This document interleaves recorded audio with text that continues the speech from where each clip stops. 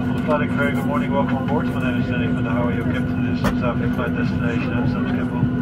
Also on behalf of my colleague and senior first officer Jan van Hollen, I wish you a very warm welcome on board of Boeing 737. At the moment, uh, doors are being closed and we are still ahead of our departure time. Uh, due to this, we expect to wait for maybe 10 to 15 minutes before we can expect lyrics to start the engines. And also you've got this, we will depart today in a northerly direction.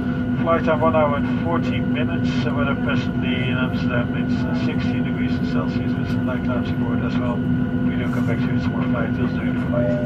Now, more, wish you a very pleasant stay aboard.